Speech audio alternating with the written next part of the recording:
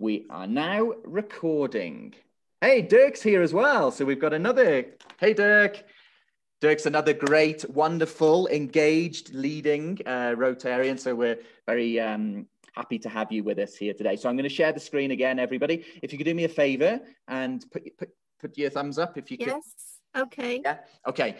So we put this here um, to say really welcome to the movement because the idea here is that we're, we're growing a movement. We're growing a movement of young and not so young new generations of war abolishers and peace builders. And the war part is very, very important as well. Peace building is very important, but also war abolition as well, because war, as, as many that'll be with us today, um, that work with us at World Beyond War, war is the biggest threat to peace building um, in the world. So it's important that we also address what we don't want, war, and what we do want, peace building. So welcome to the movement.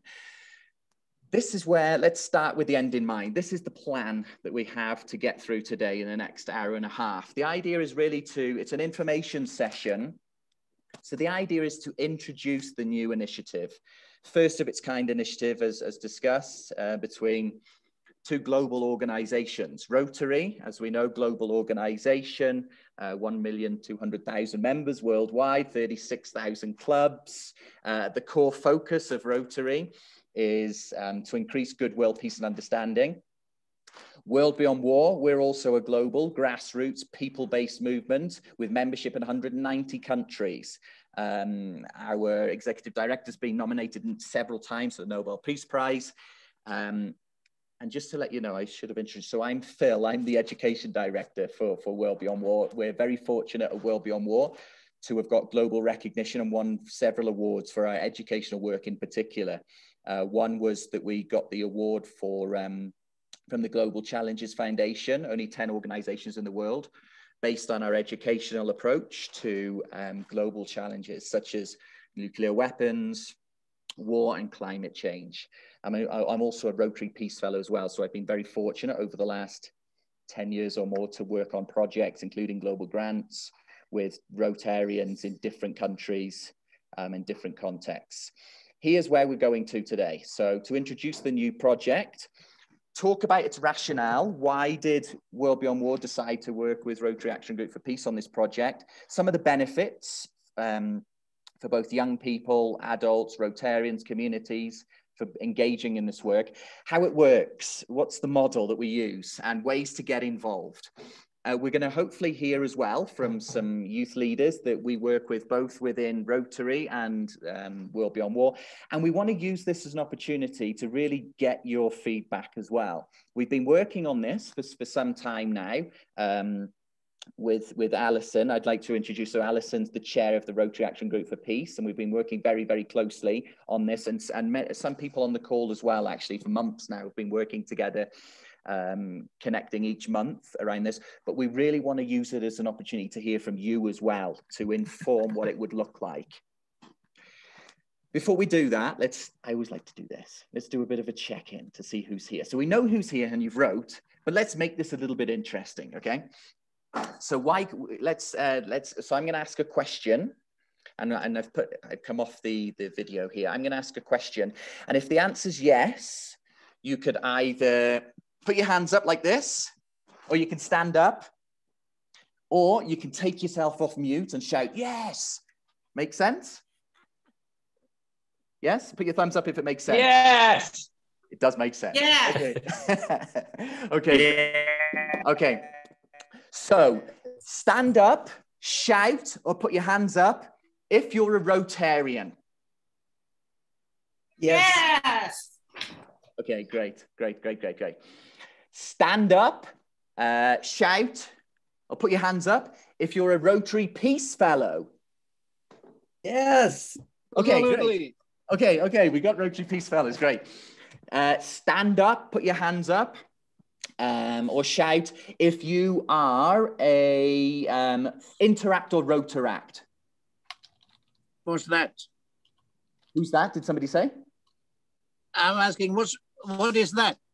Good I'll question. Explain the ages, Phil. Yes, please go ahead, Alison. All right.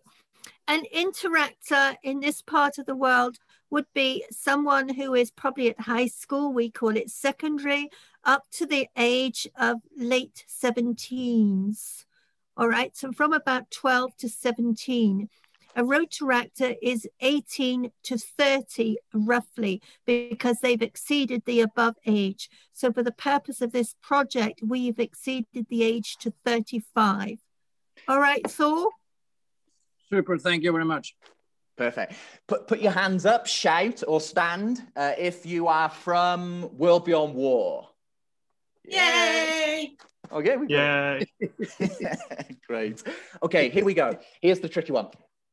Put your hand up, shout or stand up if you want to see more peace in the world.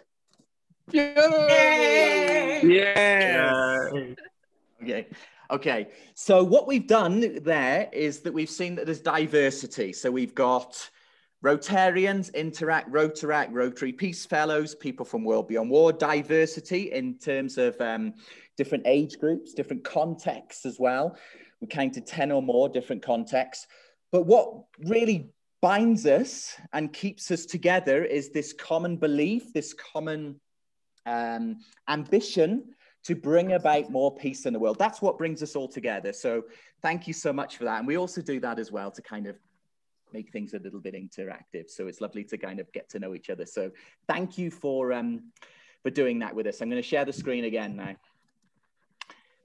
Next, um, before moving fur further, it would be remiss of me not to do a big shout out and do a big thank you. Uh, like all good movements, as people know, World Beyond War, we're, we're based on a people movement. We cannot do any of our work without the wonderful people on the ground that we work with. Some of the wonderful people are on the call right now. So we want to do a bit of a shout out. A shout out to start with to the young people. And when I say young people, these includes uh, Interact, Rotaract, also as Alison is one of the co-founders, Rotaract for Peace. This project really came about through and arose uh, through recommendations from those young people, including as well, not just young people, but some of our alumni at World Beyond War, who basically said, we love the educational programs, we love the conferences, you know, we love the activities, but in order to make progress in the world, and as we know, social change is not just brought about through education or not just through action. Social change is brought about through the combination of both education and action. So they were really calling for us to can we put together a project which combines education and action, which brings together young people and adults together in a common purpose of working towards a world beyond war and the promotion and advancement of peace and security. So we really, there's a big shout out. So thank you, thank you, thank you. The next thank you goes, and I know Alison won't like this, but she deserves it. It goes to Alison Sutherland, who's the, the chair of the Rotary Action Group for Peace. I want to say this not just being a wonderful professional colleague. Alison, I want to say that I really appreciate your support, and you know what I mean, uh, in different ways. So thank you, thank you, thank you. Uh, this project has only come about because of Alison's leadership and getting through a, a memorandum of understanding so that World Beyond War now have with the Rotary Action Group for Peace. So thank you to you, Alison. And also thank you to some of the other Rotarians that are on the call. So Sue, Jackie, Sarah, uh, Jim, some of the others that have been on these calls supporting us. Thank you so much for that support. And finally, thank you to you all that are all on the call. Um, we really hope that this our time together today on this call, and it might be the first time that we spoke together, will lead to more time together in the future, hopefully through this project. So thank you, thank you, thank you. Truthfully, thank you so much let us say a little bit about whenever looking at projects, before talking about more details about the project. So as we know, it's a peace education and action project. The peace education part will be six weeks online and the peace action part will be an eight week uh, project mentoring process, bringing young people and adults together. I'm going to say more about that shortly so that you have an idea of what the project's about. But the starting point for any project should not be what we're going to do or how we're going to do it. The starting point is always the question of why. Why is this, this project needed? So that brings us to this question. Why is World Beyond War and the Rotary Action Group for Peace doing this project? Well, here's our argument. We think that equipping young people with the skills, tools, and support to prevent war and promote peace is one of the largest, most global, and important challenges facing humanity, bar none. That is the, the challenge that we have set. Let's break that down. When we look at things, okay, we know that conflict is part of everyday life, can't get away from it. Um, it's necessary in some parts. I'm, I'm here in Bolivia. It's, it's often seen as necessary. What is not necessary is violent conflict. Violent conflict is the issue. And violent conflict is an issue in every single city, in every single country around the planet. Now, research shows we're now at a 30 year high in terms of violent conflict around the world. The quintessential version of violence is war as, as people from World Beyond War will know, war is development in reverse. And what we mean by that is, is that it diverts attention away from productive activities. Violence costs, according to the Institute for Economics and Peace, 14 trillion it costs us, you know, to contain violence. Two trillion a year is spent on preparing for war. Half of that comes from the US all of us are implicated in the war systems. If one thing comes away today, we're not just talking about war out there, we're talking about how war is prepared and invested in the global north countries. So that really justifies the importance of peace. Peace is a task for everyone. So it's not just about governments. It's not just about elite levels. Peace is a task for everyone. If you follow the, the United Nations culture of peace, they, they, they state that very, very clearly that everybody has a role to play in, in peace building. That's a Galtung quote, by the way, Johan Galtung, who's the founder of uh, peace studies. Um, peace is essential to sustainable development. The United Nations say there can be no sustainable development without peace. There can be no peace without sustainable development. So they're both interlinked. In order to make progress on education, on health, on all the other 17 goals, we need to be addressing peace because violence interrupts our progress on any of the other sustainable development goals. Well, the good thing is, is that one way of working towards peace, it's one way, it's not the overall solution. It's part of a, a multi, a complex process. Peace education. Peace education could be understood in different ways, but one way of thinking about it is, is providing the knowledge, skills, attitudes that help people understand the different contours of violence, transform conflict, and work towards uh, negative and positive peace in the IEP sense. Okay, so it's been recognized by UNICEF that, that, that peace education is a core component of quality education. So not just peace education, of any education. And it's also been recognized that it's also um, peace education is a critical component of peace building work. I recently um, contributed to a report by the International Alert and um, British Council on Peace Education. And this built on some work done, uh, a peace poll a couple of years back, which um, involved about 100,000 different people in 10, 15 countries, both fragile, conflict ridden countries and relatively peaceful countries, asking them what is needed in order to bring progress in the world. Um, and number two, governments came out that people thought that peace education was essential for making progress with regards to peace and security. So eh, there's the, the, the importance. However, I will say this, there's quite a few arguments or critiques advanced against peace education. One is that often there's this disconnect between those that study peace and those that practice it in the field. So there's a real need to connect what happens in the classroom to what happens in the community. And, and um, we're going to say how we want to try and approach that. So there's a little bit about war, conflict, and peace. But why young people? Why should we focus on young people and why now? Well, Gandhi said it best. If we want to um, achieve real peace in the world, we've got to start with children and young people. So he said that a long time ago. However, so there's always been an interest in the role of young people in peace building. However, in the last five years, right now, there is an unprecedented level of interest in the role of young people in peace and security. There's been three UN resolutions in the last five years, which basically says governments, communities really need to change and step up their game and involve young people more in peace and um, security decision-making processes. There's one reason. Now we have more young people on the planet than ever before in the whole of history. Ever before. We have 3 billion under 30. It's the largest and fastest growing demographic on the planet.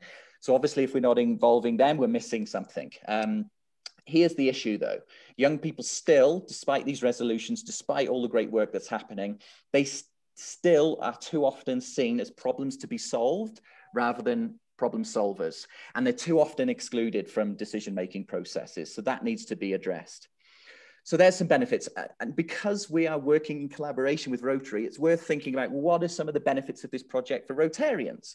Well, one is, and, and although this is a new project with regards to World Beyond War and Rotary Action Group for Peace working together, I've worked on many of these projects before, and we found that it, it helps to grow membership through inspiration. I can tell you now, no word of a lie, some of the projects I've done before, there was Rotarians who've been Rotarians for 40 years. So there was a married couple that comes to mind in particular. And I still remember them saying to me, Phil, we've been Rotarians for 40 years and working on this project with young people to train them as peace builders has been the most impactful thing we have done as Rotarians quote i'm telling you and i could have cried i think i did when they told me uh, when they said it to me because it was very authentic so it, it grows and so it, inspiration, um, it connects people, but it connects them through action as well, this project. We know that a challenge worldwide for Rotarians is to grow membership, is to engage um, more effectively with the community. And we also know that Rotarians are interested in engaging more, particularly with Interact, Rotaract, and the people. Thank you, Rotary, that you've trained us as the peace experts, you know, Rotary Peace Fellows. We really want um, we want to engage more Rotarians and Rotary Peace Fellows. And there's some good work being done along those lines, actually, which I can talk about later. So there's a little bit about the project. Um, but here's the question, what difference will the project make? Well, here's some ideas. And this is another great thing. So let's start with the end in mind. This is the end, this is the end goal of where we want to get to as, as, a, as a collective together here. Our ambition is to connect and support new generations of, and I first of all put young war abolishers and peace builders, but I took that young out because we really need to focus on intergenerational work. We really need to focus on training and supporting young people. We really need to focus on training and supporting older people as well. Um, it's not so, although the focus is on young people here, it's about intergenerational work. So that's why I took the kind of young out after. Here's a few things um, which people, and I'll say, you know, what, it can consists of, this project, but here's a few things in terms of its value. One, you're going to become part of a global network. Two, at the end of going through this project, so as people know with World Beyond War, through going through the peace education part of our courses, they get certified or a certificate of completion at the end. This will be a little bit different because it'll be going through a six week educational journey and then physically putting a peace project together. So at the end, people will become so both, there will be two different types of certification, which will be signed on behalf of both Rotary Action for Peace and World Beyond War, that certifies them as war uh, um, abolishers and also peace builders. And what they'll have to do is justify that they've completed a project within a certain time that, that, that, that uh, meets certain criteria. And I'll say something about that shortly. Another benefit is an opportunity to make a difference, um, actionable learning. So not just learning something for the sake of it, learning something for the sake of taking that learning, using that theory and putting it to practice to make a difference on the ground. Make that making a difference on the ground will connect to global goals. So what I mean is sustainable development goals, but do it at a local level. Um, you'll have an opportunity to work with two more actually, because we're also in collaboration with WILF as well, which is another um, uh, globally recognized organization. So a number of globally recognized organizations, access to award-winning materials. So for those that know and work with us at World Beyond War, we have very good educational materials and we've got you know global recognition for that. Um, widen your sphere of influence, cross-cultural learning, intergenerational work, and also um, an opportunity to grow membership and impact. Before I, before I move on to the model, I really want to kind of op open it up to, to Alison to kind of input, give a perspective of why you thought it was important, for, you know, to, to, for us to work together on this project. And I'm going to come off sharing the screen so people can see you. Um, just to say a few words, if that's okay, you know, just to say what, okay. drew, what drew you to this project, you know, why, why, why were you interested and why do you think Rotarians interact, Rotaract should get behind it? Well, I, I, think one of the attractive things is we're, we're very much focused on positive peace. And I know that um, abolition of war could be seen towards the negative, but there is a balance in all these things, and we need that balance. And we recognize, of course, that uh, any conflict situation is not a good situation. And there are just losers at the end. There are no winners, really. Um, and also, if you remember Rotary, I think at the core of Rotary are young people. We're all about young people. Look at the different programs that we offer. Look at the Peace Fellowship, the RYLA, the leadership programs. And it's about developing uh, young people today and for the future. And I think um, the fact that this is also going to be cross-cultural, the fact that today I've counted we've got 16 countries on this call, that is a huge achievement on your behalf. And that's when we actually start joining together that we become stronger. Alone, we're, we're, we're, weaker. And also, I think it's not about competing with one another, it's about support and collaboration and working together and seeing what each person brings to the table. You all bring something to the table today. And I think that that's exactly what's happening with the RAG and with World Beyond War. I think that we're going to be beneficiaries from it. And the thing is today, I think it's important to remember that intergenerational is important. It's possible to have the two extremes within Rotary, talking about we need young people, we need to grow more clubs and so on. But that, that's a, a problematic because then you're dismissing the old people. If you reverse it, that's problematic. We need everybody at the end of the day, when we recruit Rotarians, we're not recruiting Rotarians because of gender, because they're tall, long, thin, pink, blue, yellow, green. We're recruiting good Rotarians. This project is recruiting intergenerational support to actually make the difference in the world. I think that's it, Phil. I think that says why I'm on board and also working with you as well. thank you, Alison. Thank you so much. Um, okay, thank you for yeah, we've got some claps there. Claps, thank you. So, so okay, so let me share the screen again, and then and I'm going to talk a little bit about well, what is this project, and and I think it's it's useful to know the background. It's also useful to to talk about the the benefits as well but I've got to say, one of the, the, the, I mean, if we think of Tesla and organizations, they talk about, well, you've got to have a really good product first, you know, before selling it, and you've got to have a really good um, service as well. So let's say a little bit about, you know, what this project it consists of. So I put it here, model, how does it work? For those that might, so, so over the years, many years, including through the PhD and other places, I've been working on a model of how can we bring education and action together, as well as research and advocacy, but also young people as well in a way that puts young people at the center. So this, this project um, I also developed further through um, another organization I, I, that I helped to develop and work on, New Gen Peace Builders, who use this model as well. Um, with, with, them, I just used it in the context of education and action, but my broader work looks at those uh, research, education, action, and advocacy. So here's the kind of model, but we try and put young people at the center or people at the center, let's say, you know, so young people and adults working together on projects.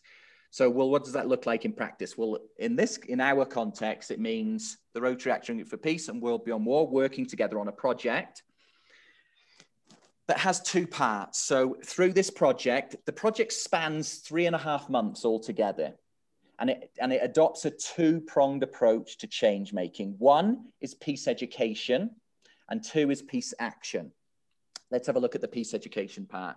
So part one takes 120 people through a six-week online learning experience. The 120 people, the ambitious goal is that there will be 12 people from 10 different countries.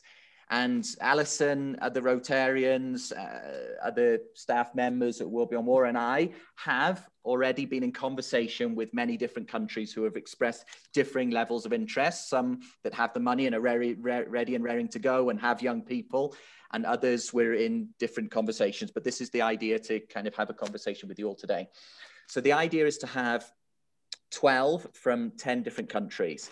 10 of them would be young people 18 to 35. And the other two would be mentors that would work with young people alongside them through the journey. I'm going to say something about that shortly. So the, the, the, peace education part is online. So for those that, that work with us, and I, I think I've seen John as well, who's one of our wonderful board members from World Beyond War, we, we um, have really good educational materials online um, and run six week um, online courses which means that young people, adults, can access the material in their own time, in their own way, whenever they want to. We suggest that between three and five hours is spent each week going through the educational material. The educational material will be a mix of written um, material, videos, images, recordings, etc. So there's different ways of catering for different learning needs. But what happens? So we, we're splitting the project the six week into three different modules. Two weeks look at the, the head of peace building, and I'll say something about that shortly. Two weeks look at the heart of peace building, and two weeks look at the hands of peace building. Okay. Here's something I put together to try and make sense of it, of how, what I think of what, what, what what's really constitutes significant, effective education. We can't just work in the head we have to work the whole person. So we're interested in the development of the whole person. So here's something I put together in terms of looking at intellectual intelligence, emotional intelligence, and practical intelligence. One way of thinking about is the knowing of peace building, the being of peace building, which I would say is definitely the, the most difficult and always ongoing, and the doing of peace building. Um, so what do we mean by the knowing? Well, what we do for two weeks, the first two weeks, is that it will revolve around our award winning book, A Global Security System, which lays out a blueprint for ending war and establishing a just and sustainable peace where peace can be achieved by, by peaceful means. Drawing on Galtung again. Um, this, these two weeks will look at uh, strategies for demilitarizing security. We need to take the money out of the war system. So, how do we go about doing that? Another one, another another part will look at managing conflict without violence. And these, these two, demilitarizing security and managing conflict, are more of the hardware of the system. And then the, the second week, we'll look at the culture of peace perspective, which is more about the future orientation, more of the soft, soft skills side of things. In doing so, it's been argued, and, and I've argued this as well, that I think it's, to work in the peace building world, we need to have an understanding of four core concepts conflict, violence, power and peace. So we'll look at them. What do we mean by conflict, violence, power and peace, and how, we, how can we go about um, engaging with these? So that's the first two weeks. Oh, here's our uh, blueprints that we lay out in the global security system. Then the next two weeks, we'll be looking at what we call ways of being with self and others. And this is really, really important in peace building. Often it's we, we're told to let's do work out there you know let's let's get trained in conflict analysis and things like this it's really important to turn the mirror inwards and look at yourself so week three we'll be looking at your development as a peace builder. You know what brought you to do what you you do today? You know what is what's your passion? What's your what do you bring to the work that you do etc so that's week three.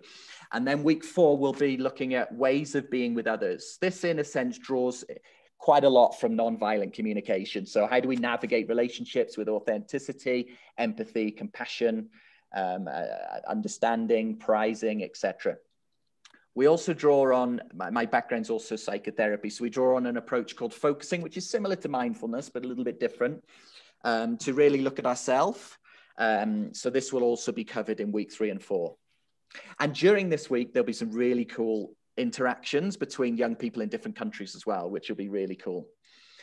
Um, and it's about listening as well. So we, we, we look at the, the practice, we practice the practice of listening. Then the, the last two weeks is, is, okay, how do we take this? And this is the, the practical intelligence, for some reason, my PowerPoint's skipping.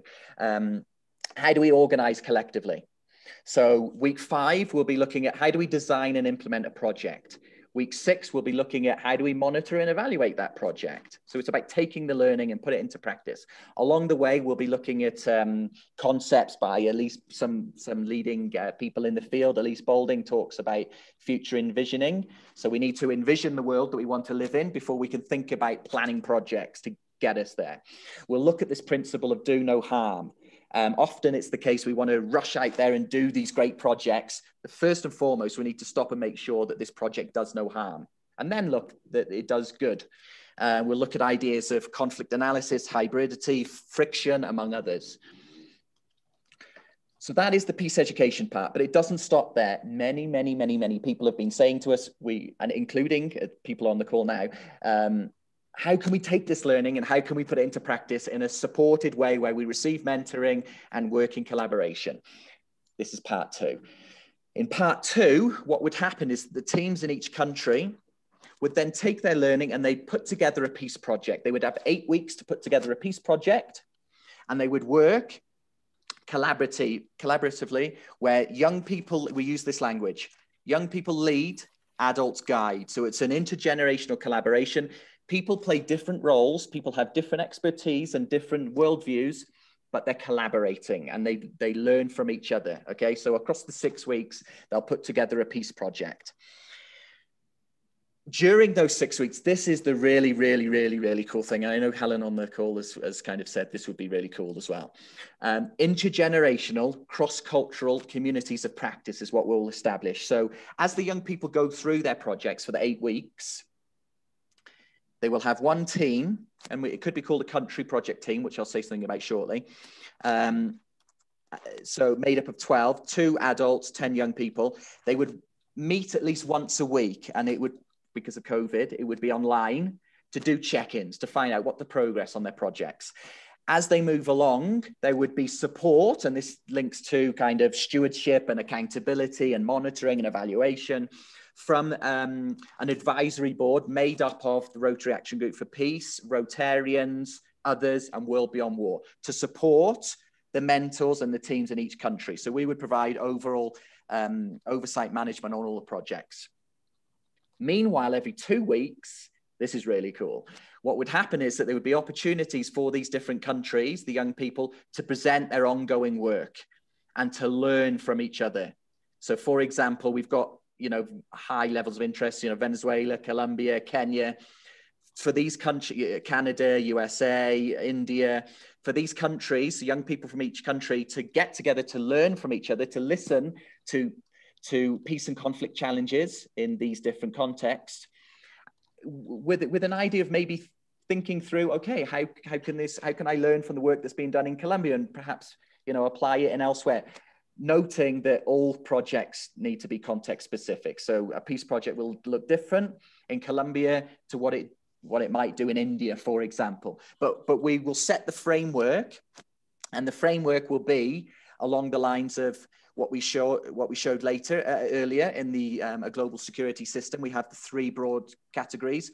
So a project would fall under demilitarizing security, managing conflict without violence, and a culture of peace. So there's a framework to work within. Before I before I go on and talk about the impact, I want to see who's on the. I know Annie's on the call. Um, I want to see if Manuela is on the call also, and Alejandra, and maybe Tarek. Yes, Manuela. You've Manuela. got, um, I think, Uganda. Um, yeah, no. Okay, so we got. So what I'd like to do now, the, the, the reason why we're here, I mean, uh, let's do. A, Manuela, by the way, is one of the people, and she went like, is one of the people that really said to us, Phil, we really want to work with you at World Beyond War on a project and with Rotary Action Group for Peace. So Manuela de deserves a lot of the praise here. So can we give a space, if, it, if it's okay for you, Manuela and and Annie, um, to talk about what about this project? You can say whatever you'd like to say, but one thing you might want to talk about is why you're interested in this project, why this project is important in general and in your country. So we've got Manuela from Colombia, Annie from Venezuela. I, I can't see if Tarek is here yet from Syria as yet. Um, if you are Tarek, let me know, but he might be on, on the call later. And also Christine from Kenya will be on the call later. So um, Manuela, we have Kenya on the call. Oh, do we have Christine? Oh, Christine's here. Christine's Yes, here we also. Great. have. I'm here. We have got some superstar young people. So, okay, Manuela, if you can go first, and then Annie, if you can go after, and then Christine, if you can go after, and just say a little bit about the importance of this project uh, and the support that you need from Rotarians and others to make this work and available to your context. That would be wonderful. Thank you. Okay, thank you. Thank you so much. I'm so glad to be here. I think that educating for peace in the world is a challenge and the greatest contribution of the education sector uh, to the process of social peace building. So peace is considered an essential human right to educate uh, towards a new ethic of and encourage and promote direct cultural and structural nonviolence. So in my country, for example, Colombia is currently facing an enormous and historic, historic uh, challenge to strengthen and appropriate peace. Mm, not only of the peace established in the agreements between the national government and the former FARC, but uh, of the struggle to ensure to all sectors of society can have uh, like political participation in the decision making of one of the elements that I consider initially fundamental to achieve a, a sovereign and more democrat, democratic country. So I think that everyone in the world should have the tools to achieve a more just world. Uh, that is why it's important to educate for peace. And this is a wonderful project for that reason. Thank you. Thank you so much. Wonderful. Thank you, Manuela. Annie, are you, are you there? Could you say a few words, please? Yes, absolutely. I'm here. I'm sorry I can't turn my camera on right now.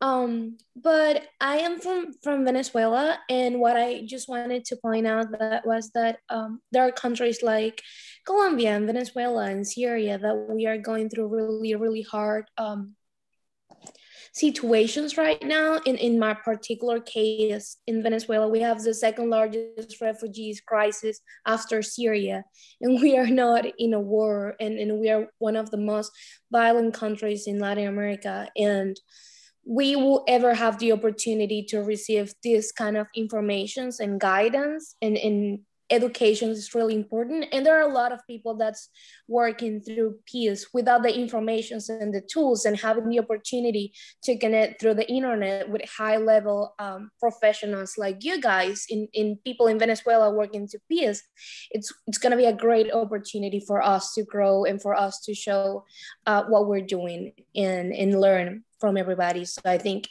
and the fact that young people, and, and right now, um, there's a lot of immigration and there's really few people that still in, in Venezuela working and supporting them. It's a, you know, in a, a task that it's really, really, really important for us right now. I think it's, you know, really, um, it's a huge, huge help that Venezuela can receive.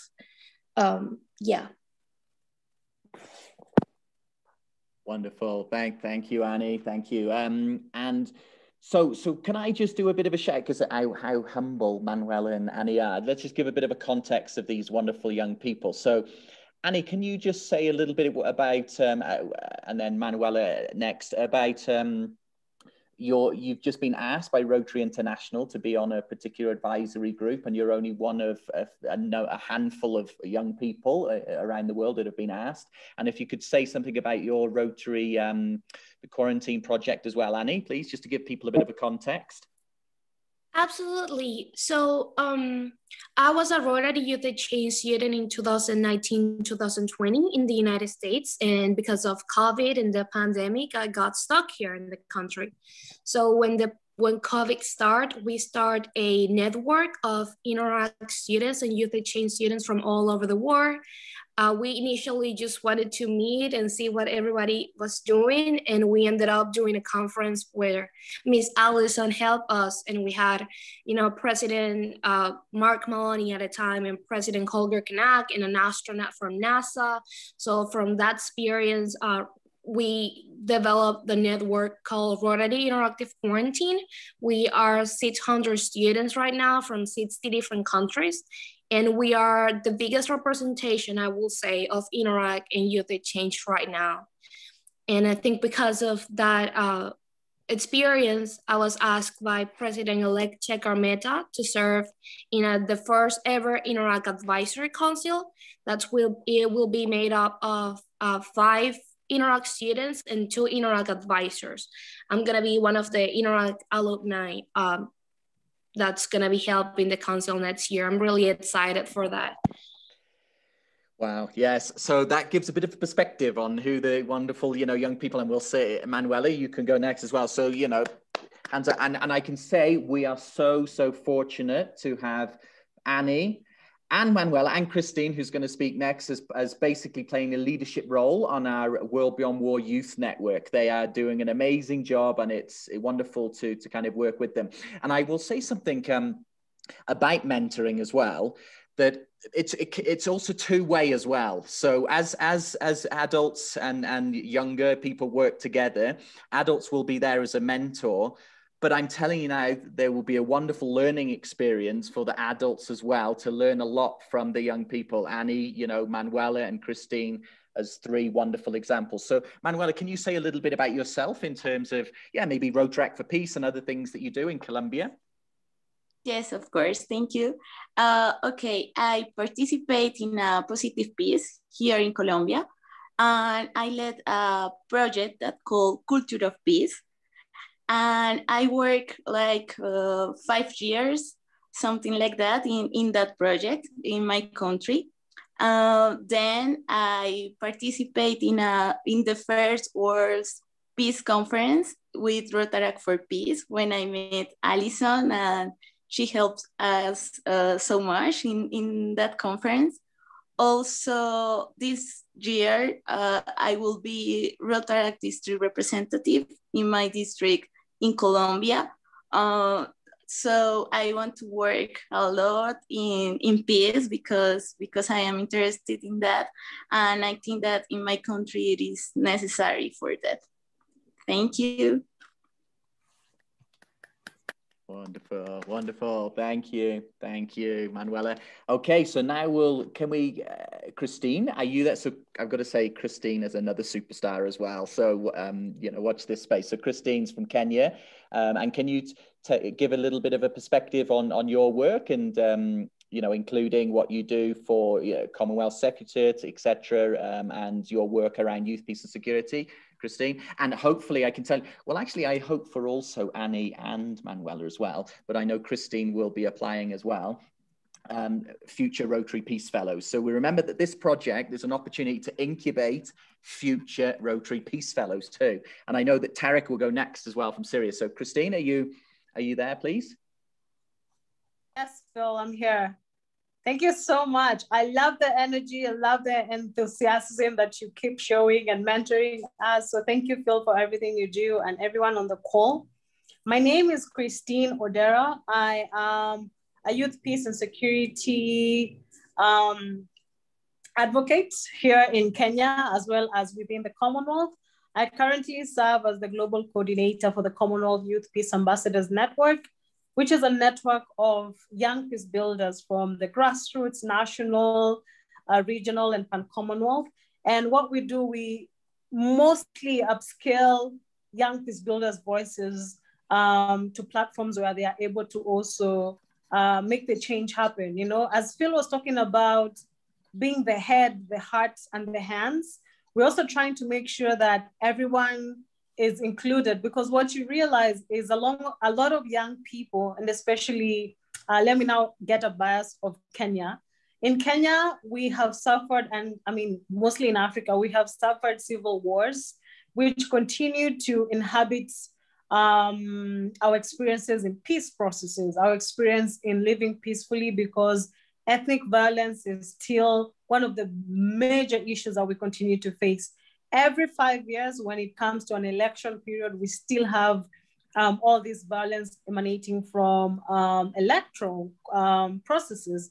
So as young people, we're just tired of being excluded And as the missing report um, suggests, the violence of exclusion has been one of the things that as young people, we're just tired of. And we're not waiting to be included. Right now, we're trying to make sure that um, we're able to be part and parcel of the changes that we want to see. Most of the time, what you realize is we don't get to be invited into decision making platforms.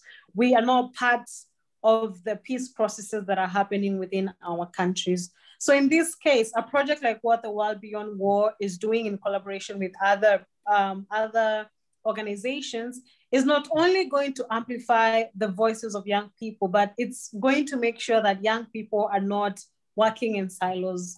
And the conversation is taken where it really matters. A lot of young people really are passionate about peace processes and being included into peace work, but we don't have the know how. So, how then do we start capacity building young people into some of these mechanisms, right? How do we make sure that uh, we capacity build young people in peace processes? Just how then do you package yourself when it comes to the languaging in peace processes? When you talk about nonviolence engagement, how then do you package yourself in a nonviolence um, engagement? The one issue we've also been facing is when it comes to donors, a lot of us young people do not understand how to even report a financial report. So how then do we get um, organizations like World Beyond War that has very good research on that, helping us help ourselves? And like Phil was mentioning, it's then become an intergenerational conversation that is not necessarily in support of only the young people, but also the older generations.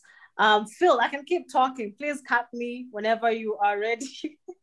no, th- thank you. Thank you, Christine. And there's, there's going to be more time as well. We're going to allow at least, hopefully, 20, 25 minutes for questions, answers, etc. So thank you, Christine. Christine's another wonderful young people that we are so fortunate to be to be working with, learning from. You know, every single time I hear actually Manuela, Annie, and Christine speak, I'm like, I'm busy writing notes and just learning so much. So we are so fortunate to be working with them. So thank you. And uh, and speaking of another great young person, uh, Tarek, are, are, you there? And now I know there's often issues with Syria, uh, with with the camera and things like this, but I think I've seen you. If you are there, yes, could you? He is here, I'm here. Perfect. Yeah. Can, can you can you say a little bit about um, you know why you think this project is important and and, and why Rotarians and others should get behind the project to try and make it available for young people and adults um, you know in in in different places, please. Yeah, cool. So hello everyone. My name is Tarek. Uh, I'm a dentist and also an activist living in Syria. Uh, there is no doubt, I guess, you're you all know that you know Syria is the biggest emergency that ever happened since World War II, and I'll spare you the numbers, but uh, there is no doubt that's been their uh, war for around 10 years now, and the consequences are massive uh, on each and every scale.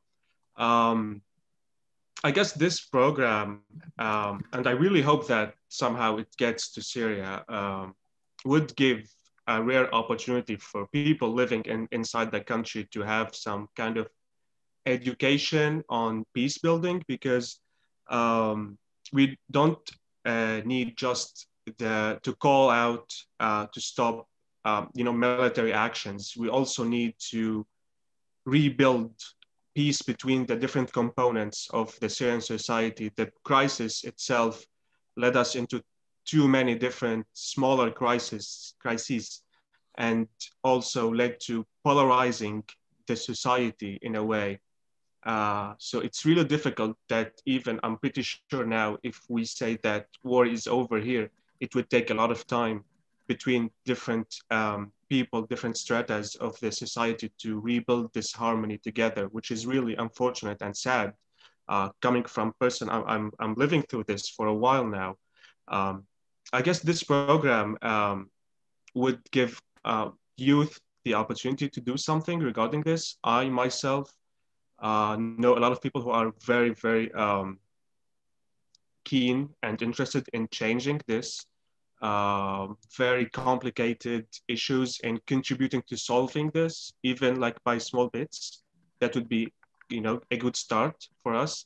As you may or may not know, but we are we don't have that many ac- uh, many uh, opportunities to access when it comes to education because of the U.S. sanctions. Even Zoom, I need to do some uh, tech stuff to to get on Zoom because I can't really uh, get on it like as you probably do.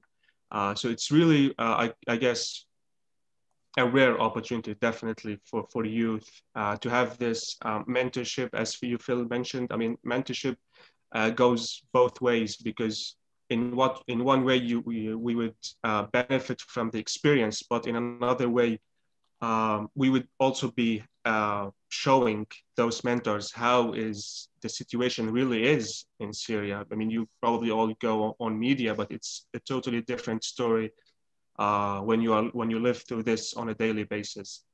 So I really hope that uh, Syria would be included in the program, and I look forward to promoting it and also applying to this opportunity when, when it comes online. Definitely. Uh, so thank you all. Thank you. I want Tara. to say something. Phil, can I say something? Please, yeah. Um, with the young people who've spoken today, and there's others on here who've not spoken, I think it's very rare in Rotary that we get to see the plants fully grown or growing. We sow seeds all of the time. And I think what it's doing for us today is we're very privileged to see the impact of the connection that we've already made with these young people, the things that can happen. Imagine if we can actually multiply this again and again, which is why you're all on the call, why you're on from different countries. Just think of the effect that that's going to have. Look at the three exceptional people we have. And even thinking of what Tarek's just said from Syria, um, another initiative on the RAG, we're working together with Karim Wasfi in Iraq, and he wants to bring peace and beauty to that place through music. And there's some activity going along there to do that. There are many ways of peace building, and we need to equip everyone. So, this is why it's important for us all to be connected.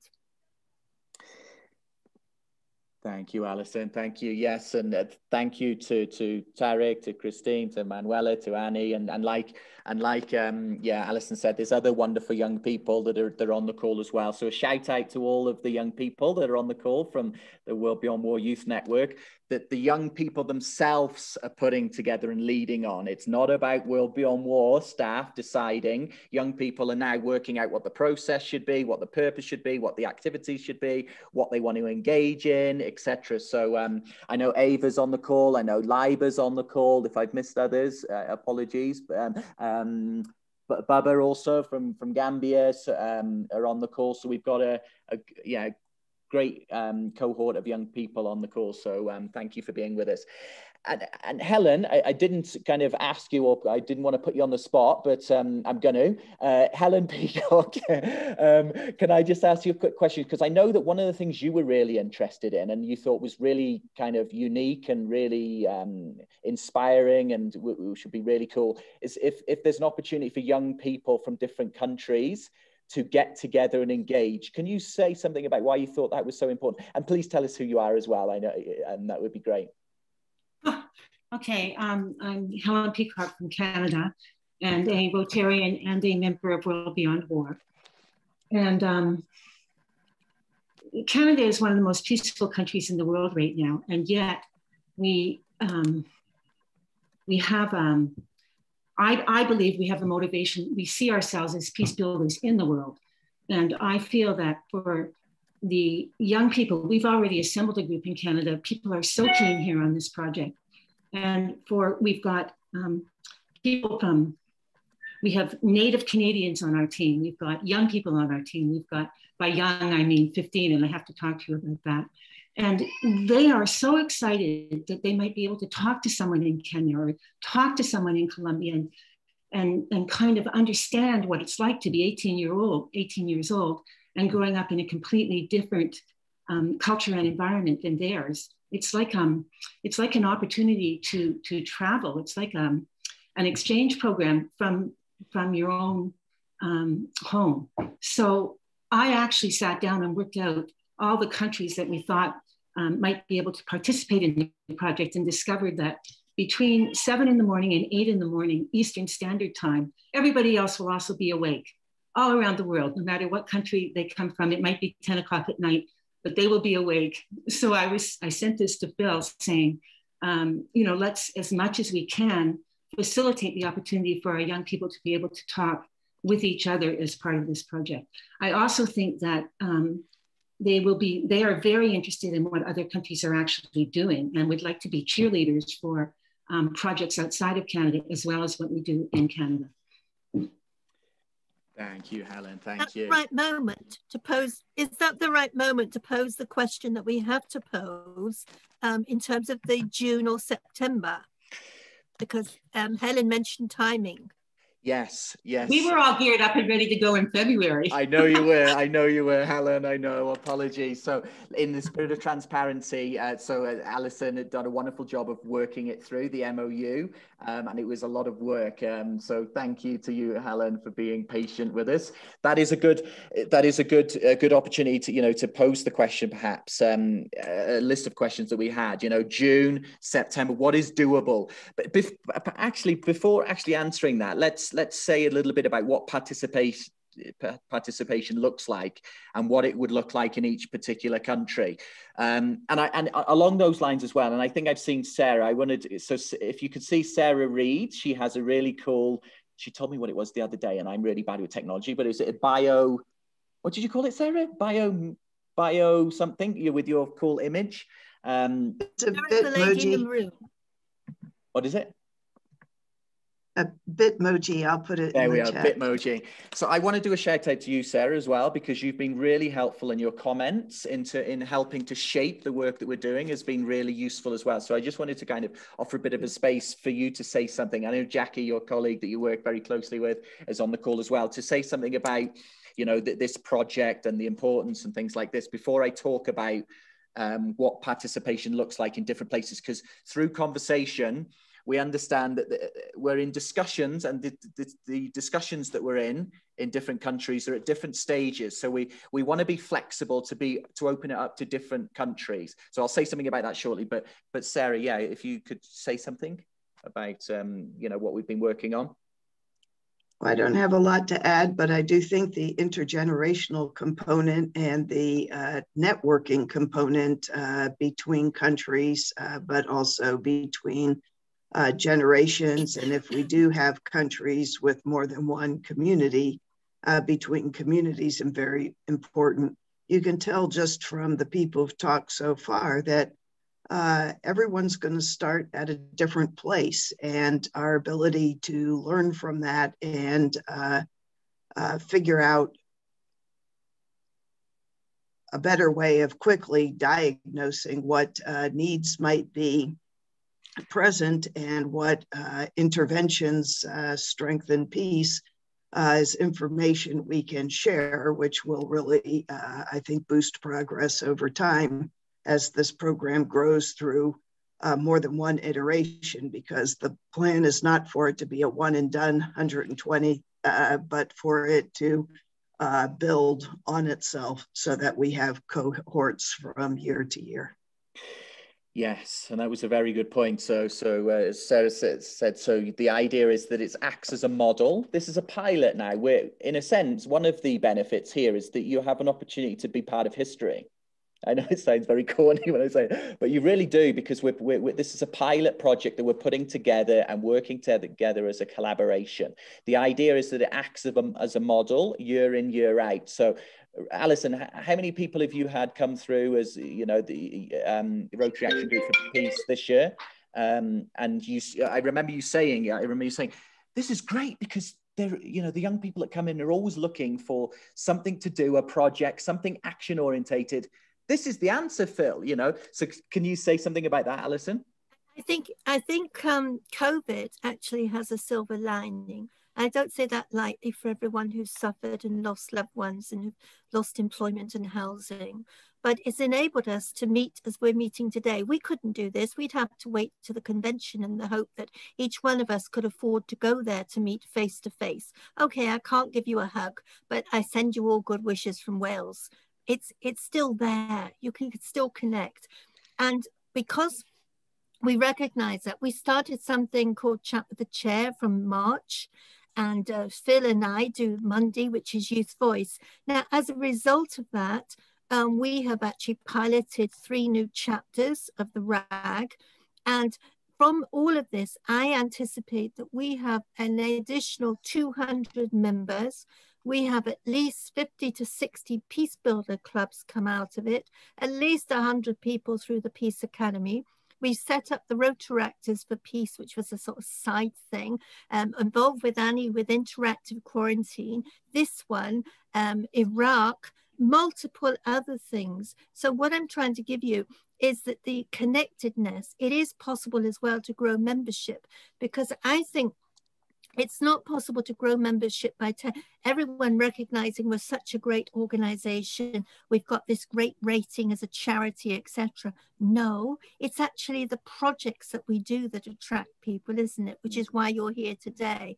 And then it's who we are underpinning those projects that keep people. And it's that. And i think there's such huge opportunities for for this. And I think also it's not just um, as a even as a district governor, I'm not concerned with numbers. I'm actually much more concerned with quality, and quality for me is about people. It's about people being taken care of and valued. And when you do that, they grow in number because they recognize that they are valued. And I think there's multiple people out there in all walks of life that will come across what we're doing and think, we want to do this or we want to do something similar. I am sold on it, Phil, as you can tell. well, I just like I could cry because like listening to Alison, that's the reason why I love working with Alison because you could tell this is very authentic. She really cares about what she's doing, you know, like you all do on the call. So um, yeah, thank you so much for sharing that. I know we've got about 20, bit more than 25 minutes. What I wanted to do is share the impact and share specifics around, well, how do I get involved with this? And then open it up for questions and answers that we have from you, because we really want to use this as an opportunity to hear from you. You are the experts on the ground. You know what what's needed, you know, on the ground. So we really want to hear from you. So can you put your thumbs up and say if you can see the, um, if you can see my screen? Yes, Phil. Perfect. So impact. So what's if we start if we begin with the end in mind, what do we want to see at the end of this pilot project? Well, here's some ideas. So Sarah spoke about, you know, this building of the community. Here's some other specifics. And I've put them under education, action, and communication. Under the education part, the idea is to take to strengthen the local capacities of 120 people in 10 different countries. And we will assist them in terms of their peace building co competencies in terms of their critical analysis and research, because in order to do a peace pro project, they will have to justify that that project's needed. Um, we will also support them in terms of their organizing and their project management skills, transferable skills that are not just applied to peace building, but very, very applicable to, to life in general and to you know, getting jobs and things like this their digital and technology um, capabilities because, because we'll be interacting via Zoom, via Canvas, via other platforms.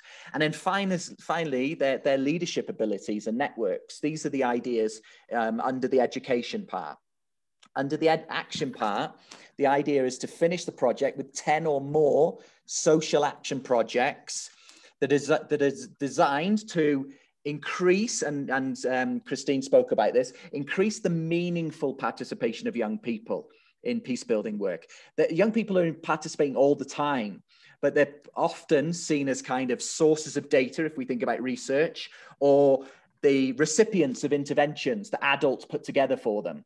No, the idea of this one is to increase the meaningful participation so that young people are put front and center of these projects uh, with the support of you know um, trained adults. Um, also, the idea is to influence peace building from the bottom up.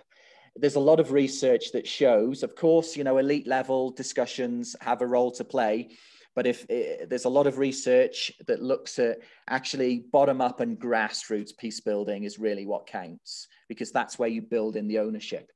And then after they've done the projects, they will present in their community. And this is an opportunity to present the projects to the wider community, where the wider community get a sense of what the projects are. They get a sense of who Rotary are, and this is a great opportunity to recruit as well.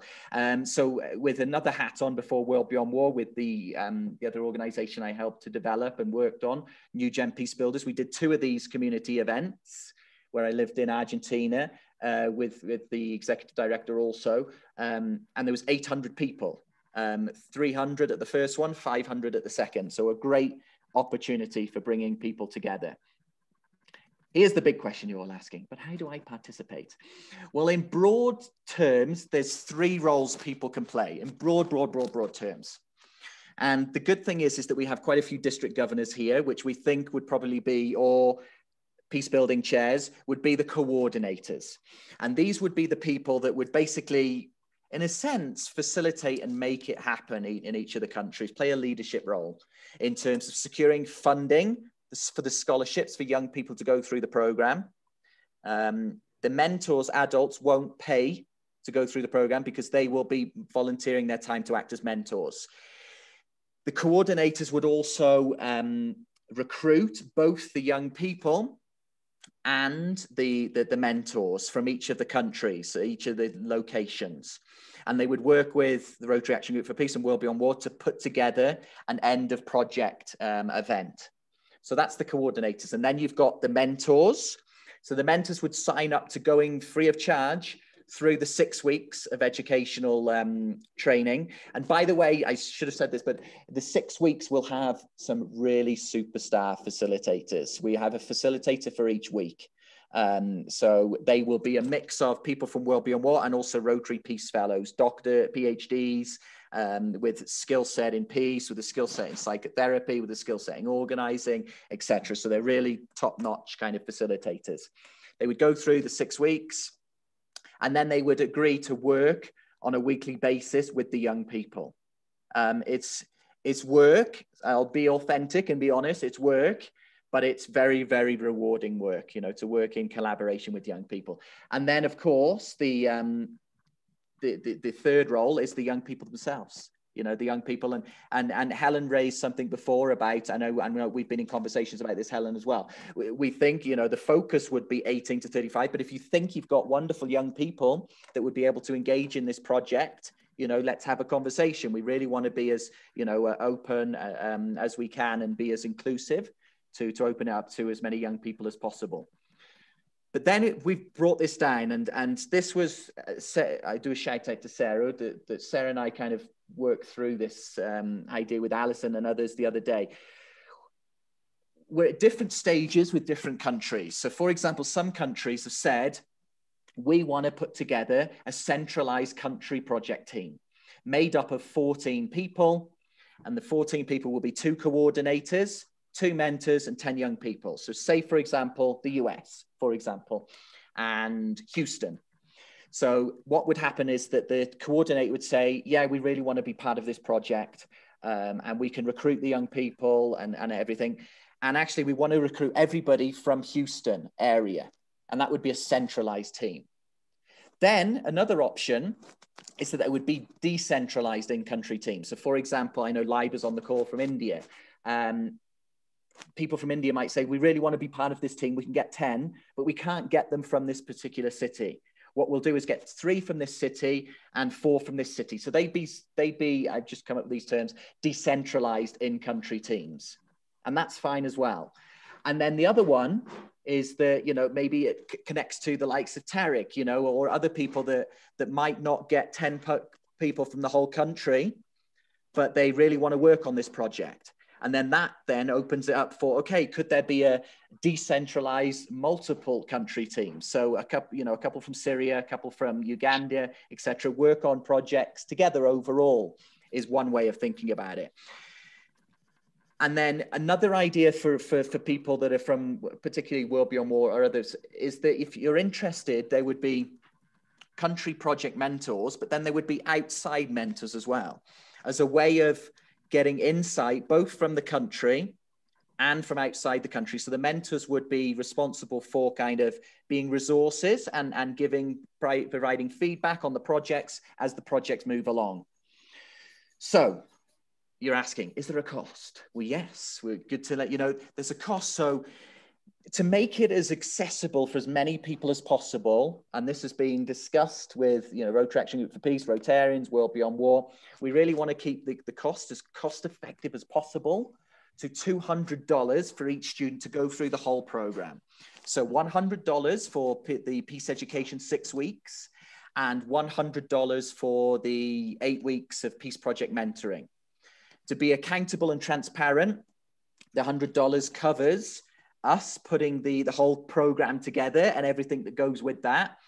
Um, in terms of the, the content, in terms of the facilitators, in terms of using the platform that we use, etc. for part one. Part two involves the advisory board uh, World Beyond War overseeing each of the projects and providing feedback on a weekly basis on each of the projects, which is, of course is a labor intensive as well. Um, and there might be a question of, well, what are you doing to, to check, to, to, to building what we call feedback loops with regards to evaluation, with regards to being accountable, with regards to, as Sarah would use the language, good stewardship. We will, to ensure this, the accountability is built in and to ensure that that projects on the ground are being accountable to the people they purport or, or aim to serve, um, we will have an advisory board, which will basically provide feedback and, and um, act as what we call validation groups for each of the projects. Um, so there's, there's a question. Some information um, before we kind of open up to questions is that we will be having application forms. We will be in contact again already we want to say right away if you're interested in this project, please write your email address in the chat. Please reach out to Alison and I, and I'll show you the, the, the, um, the email address shortly.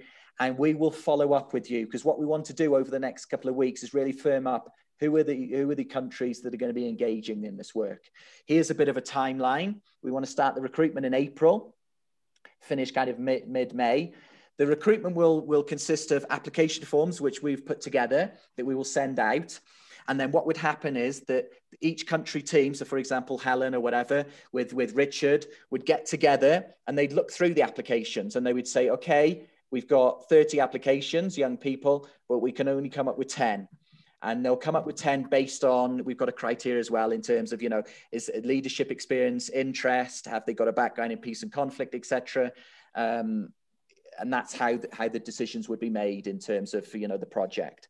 And then we'd hope to start but this is something we want to raise with you in june um, and then finish mid september which is where the community events would be the community celebrations um, alison anything i forgot yeah, I, I think I think what we need to do, we, we, we know we've got the question of when start, but I think we need um, a bit more um, unpacking around the costs because we've had a number of comments. And, and one of the comments is that $200 in some countries is a huge amount. Another comment is for some, um, we heard from Tarek in Syria, access to the internet to Zoom is difficult. Another comment that um, some of the young people may not have computer access. Mm. Somebody said, well, maybe they could do it on their telephones. I responded to one of those comments saying that possibly this first time round that we hear all of those difficulties and we would like to address them, but we may not go in um, straight away with all of those areas because we'll probably go with the easy route of where we where it's doable so that we can refine it and work on how we can overcome the other problems thereafter.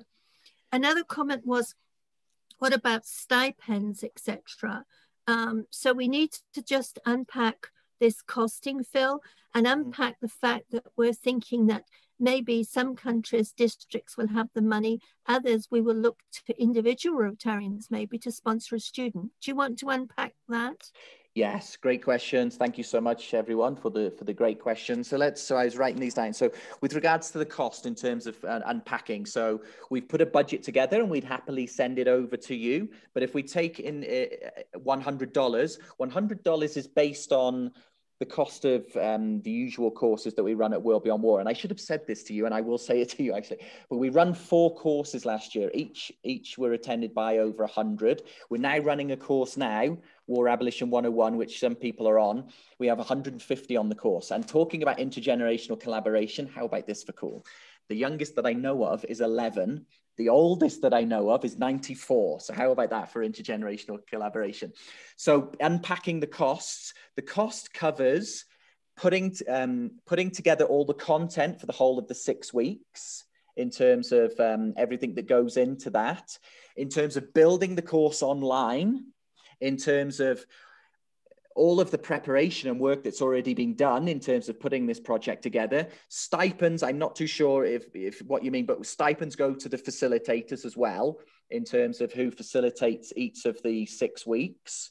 So that's where the $100. The question around um, $100 is might be a lot in some places. That's a good valid question. You know, that's a good point. Um, and what we've, and this is being thanks to guidance by the Rotarians, we're aware that you know Rotarians in some countries have more money than other Rotarians in other countries. So um, what we'd be looking for is is Rotarians because we know you're generous, we know that you're interested in in engaging in this work to to provide sponsorship for other young people from different countries. So, for example and this might connect into the internet one.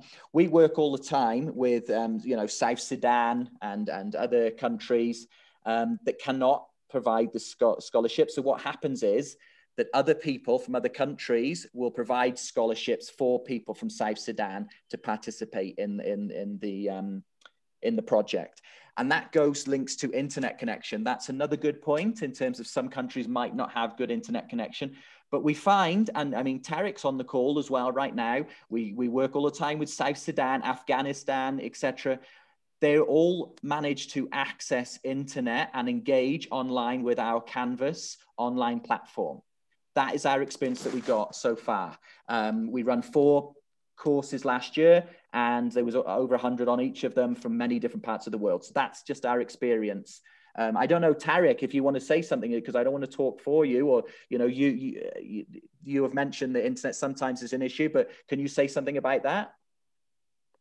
Yes, please. Uh, regarding access to internet and laptops here in Syria, um, I would say that a good amount of people, uh, a good number of people here have access to a laptop. However, sometimes it could be tricky to access some websites and some software, but I guess throughout, I mean, it's, ten, it's been 10 years. So I guess most of us youth developed a way around to go uh, on those kind of websites. I mean, Canvas is in fact unaccessible for us Syrians due to the US sanctions, but we also managed our way around to get in there as, as much as Zoom, you know?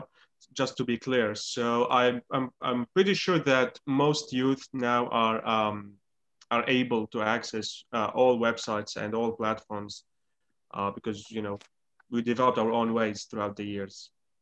Thank you, thank you, Tarek. So I hope, hopefully we've attempted to address, and this is the first of many information sessions. We cannot cover everything on this first one. Um, so hopefully we've attempted to, you know, to, to address, in, you know, an attempt to address the costs, what that covers, um, projects, uh, internet access, uh, stipends. Anything else that we could we could cover? We've had something from Raju, which hmm. suggests maybe a small amount given to the mentors as an encouragement. But actually, that isn't possible. Those mentors are going to be Rotarians. We cannot fund ourselves in any shape or form. So um, we're looking for service here. So I think that's a definite no, I'm afraid. Yeah, and based based on experience. So although this will be the first time we'll be on World Rotary Action Group for Peace, I've done probably about 20 of these projects, you know, over, over the years where where they've all been volunteers. And it hasn't just been Rotarians, it's been um, university lecturers, school teachers, social workers, people for Save the Save the Children, Red Cross, NGO workers. They've all been volunteers. So we're in the spirit of vol you know voluntary work here and the reason i mean if you think about it I'll be completely honest now that you know the, the cost of two hundred dollars, bearing in mind the quality of the educational work that we produce, is peanuts in comparison to some of the other projects that you see that get funded for a lot of money. Uh, we we have behind us a wonderful award-winning, globally recognized educational material that that is that is very very very strong. Um, and actually, I can show you just very quickly about that, just to kind of highlight how strong we are. Um, and, and While you're doing that, let me answer um, Helen. She asked why we changed the age range 18 to 35, uh, because originally we had lower. The reason we did that, Helen, is because in some countries we have difficulties working online with what considered vulnerable and young people under 18 are vulnerable and need guardians and parental consent. So again, we thought because this is the pilot, um, and maybe we could be criticized, but we thought we'd go for um, the straightforward route this first time out so that we could get it out there and learn and then remedy these factors as we go. And particularly as Anne is concerned about equity in accessing platforms used, etc. We are conscious of that and we thank you for that.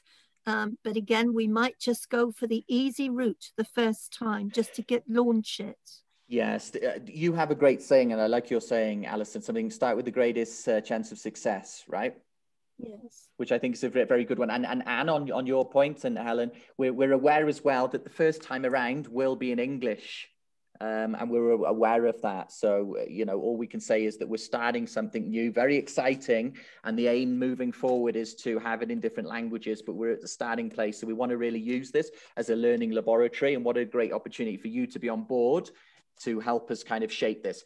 Something about our educational material. So the one we're, we're offering master's and PhD level materials and, and educational resources adapted to young people. You know, we can adapt it accordingly. Um, we have on our programs, and here's some of the pictures, you know, right from high school, right to PhD, who find it really, really accessible, um, you know, to go through the program. And, um, and I think we've, you know, we, we said that we won, we've won, you know, various awards for our educational work. It's some, something's worth saying about, um, the educational work is that here is some of the people that have helped inform some of our educational work. And here's some of the leading thinkers in the peace and building field, you know, so um, we've got our wonderful colleague who's the coordinator for the Global Campaign for Peace Education, Tony Jenkins, who will be one of the facilitators for the week. We have uh, um, Ambassador Chowdhury, who was the, the brains behind the, the um, culture of peace movement within the UN. You have um, Cora Weiss, who's at the Hague Appeal for Peace. You have some of the leading thinkers and names practitioners within peace, peace and conflict studies fields that you'll have an opportunity to engage with some of them through this program. That is our unique selling point, I would say, over others you know, where there's some great programs out there, great, great programs, wonderful.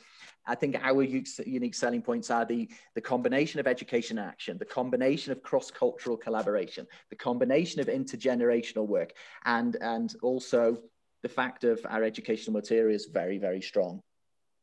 Phil, um, I have another point, and then I see Odile has her hand up, but um, we it's important for us to have your contact details because after this meeting we'll send you a link whereby you can go on the link and register your interest mm-hmm. interest in becoming a mentor interest in putting names forward interest in sponsoring one person or maybe 10 persons, whatever. So, and also we recognize Raju suggested, as did Sarah Reed before, crowdfunding, etc. We're open to all ethical ways of fundraising for this. Would you like to take um, Odile's question before we finish, Phil? Yes, and, and just thank you, Alison. Yeah, just uh, so just to let everybody know, Alison's uh, um, email and mine are now in the chat. So please reach out to us, you know, with interest. So Odile, so Odile is, is part of our uh, World Beyond War team. So great to see you. No, I heard, hello, hello everyone. I heard that in Syria, Canvas is not available due to the US sanction. So what can you do then if you cannot use Canvas for Syria? Maybe Tarek can say something about that because he's on our course right now. Tarek, do you want to say something about that? Yeah, uh, thank you. Yeah, in fact, Canvas is not accessible as much as many other websites. Uh, so there are two ways of getting around this. The first one is for us Syrians is to go and have a VPN or, or kind of a proxy to go and access the website like I'm doing it from the US, the UK, Germany, any other country basically. The other thing uh, that some companies have used in the past, um, if they will, is to apply to be excluded from the sanctions. So they apply, Canvas themselves apply to the U uh, US government saying that, look, we are not dealing in any suspicious activity whatsoever. So we would just be able, would like to, to, to have the permission to act to give uh, Syrians access. But unfortunately, not a lot of um, companies or websites do care about Syrians. So that's why you know some of them just would rather uh, stick to the sanctions as much as they exist. Thank you. think, um, Odile, we will work closely with individuals like Tarek and others who are bringing to our attention problem areas so that they might help us resolve them going forward. Bill, before we finish, we've got to resolve June or September. Yes, and and in doing in, in doing that, so let's let's open it up. But I want to, Dirk, you're a very active Rotarian, um, and I we, we really like to kind of hear your comments as well with regards to what you think about the project. And in doing so, maybe you can say something about June or September. Uh, no, first of all, uh, this project is uh, fascinating and so important. As you know, uh, I always try to push youth because they're the future and they are going to run this world. So, uh, and for Ukraine, with uh, the country getting into the eighth year of war now, time is flying, it, it is double interesting. we will have an issue, of course, with the, with the cost that I totally agree is not high. So uh, we will, but of course it is high for Ukraine. $200 is a lot of money in Ukraine, but uh, I think we need to find solution for this, uh, either by asking some friend districts, I don't know, Switzerland, Germany, where definitely people are economically stronger to maybe sponsor some, some uh, young Ukrainians. We had a RYLA in Ukraine two years ago and the cost was also $200. So uh, it, it is it is a cost you can live with. It was a full package with with uh, uh, hotel and everything. From the date, uh, we are just starting here the third wave of COVID, and just while we were having this this meeting now, our district has cancelled all the activities, DTS, pets, pets for Rotaract, postponed, not cancelled, postponed for one month was supposed to happen this weekend because we're having uh, 15 plus thousand cases per day. So of course, uh, I think September looks more, and we just start vaccination. I mean, in Europe, you're much ahead with vaccination. We are very, very much behind with vaccination. We just got 500,000 uh, doses. And from those 500,000, uh, we just uh, injected 100,000. So Ukraine is 40,000, uh, 40 million people. So uh, June looks quite early for us. So September might be better, but who knows? Okay, so along, oh, thank you, Dirk. Thank you. So along those lines, can we let's do a bit of um, practicing democracy here. Why don't we um, write in the in the chat? Uh, or just June, do this. June or September. Oh, oh, I can't see you. Alternatively, we could count hands. We could say June, and you've got to do this, and I'll go through the screen, and then we can say September. Okay, let's do this. But we got it. We got people to put their cameras on, oh, and, and so um, right. as well. Right. So, okay, you take it away, Alison. All right. So we're asking if you think June should be the start date. Would you sort of wave your hands about, and I'm going to count hands. Thank you. Oh, a minute. Keep your hands going because don't drop them. I count slowly. One, two, three, four, five. Hold on, keep going. I've got the next page. Five. All right. Um, September. Who wants September? One, two, three, four, do you know, you're not going to believe this, Phil. Yeah. It's half and half. Is it? Is that telling us something? Do yeah. we have to I, run it twice? Can I say something? I don't I don't want June if it excludes people who would otherwise be able to participate. We can be ready for June. Okay. Well, it might well be that we've got to think about June and September.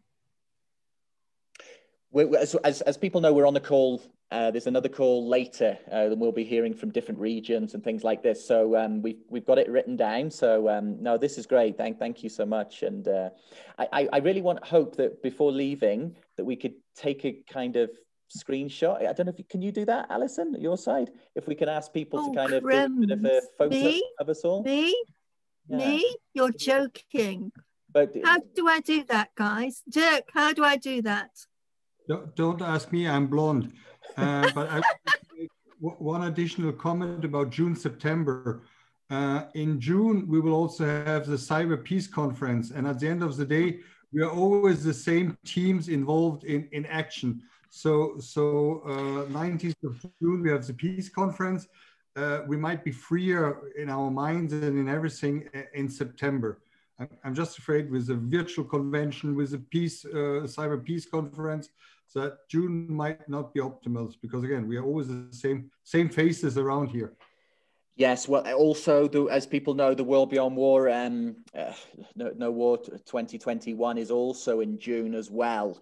Um, so that's an, so let, let's come back to it. We're going to come back to you after we've um, listened to, to other people. Um, before we leave, two, two things. One, we'll let's say out loud what the next steps are so that everybody's clear and let's get clarity around that. Two, it would be great to get some photos. Uh, and then a third one, we want to say that this is one of many activities that we are working on. So Dirk has just set it up brilliantly for this. Thank you, Dirk.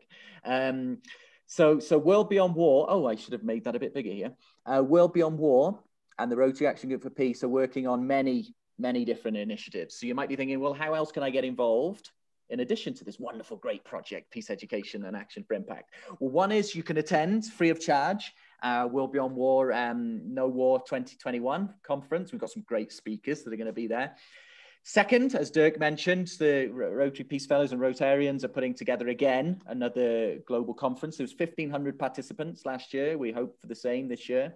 Um, we will be putting on, but that actually depends on whether we go for this project in June or September. But we will, we know with World Beyond War, we'll be running another course, at least. I hope uh, this is the plan to run um, in September, another course. Um, we have, for those that are interested that have young people, and you've heard from some of those superstar young people today, forward, uh, please get in touch with us um, uh, to engage with our World Beyond War Youth Network. Any young people you have, please put forward. We also have at World Beyond War an online course, which is free of charge, called Organizing 101, and it's really good and it's free. So please check out that. Alison spoke earlier. We um, we we put together um, the Rotary Action Group for Peace and World Beyond War, a Youth Voices um, session each Monday, free of charge. Also, the Alison, I don't know if you want to say anything about the Rotary Action Group for Peace chapters and the chat with the chair.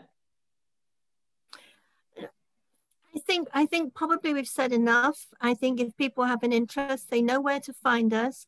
The chats go on every night of the week, so uh, the door's open and you can all join. I'm just conscious of people's time now. Yeah, so we want to respect people's time. So in, in terms of next steps, um, please email us with details. You have our email address also, so reach out to us.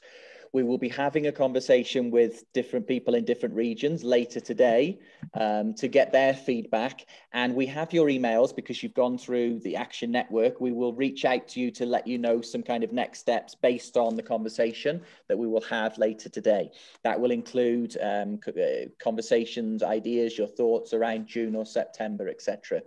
Um, this is the first of, of many information sessions. So if we didn't cover everything today, we will be holding um, futures, future inf information sessions. And the idea is to transition from a general information sharing session to a more focused country project teams. Let's get this done and let's get it working, including, you know, onboarding, application forms and everything like this. So it's a real transitional process that we've planned and worked out. So um, that's, to, you know, to say out loud in terms of the, the, the next steps. Um, before we go, can we please take a photo of everyone? And Alison, you, have we worked out how to do that? I think I know how to do it. But... I've used my computer. Uh, I've used my phone, sorry. Okay, so um, let's... So get... I've done it that way. So I'm hoping I've got it that way. Let's get our smiley faces on then. And should we do a peace sign or something as well? All right, then I'll take another one. Smiley faces all around. Smiley faces, peace sign. Keep smiling, keep smiling, keep smiling through. Hold on, let me go to the second page. I don't want people left out. All inclusive. Wonderful. We've got you. Right. Well, that's it. That thank you so much, everybody. And basically, at the end of the day, we cannot do any of this without you. It doesn't matter how good our content is, doesn't matter how good our materials is, and this is how it should be the, the, you know the, a real people driven movement comes from the local context so we really are waiting for you hoping for you to come to us and go we want to do this. Let's make this work. So please, please, please reach out to us. And thank you so much for being with us. And have a great day, everyone, or night, or wherever time you are. But thank you so much for joining us. And uh, yeah, thank you.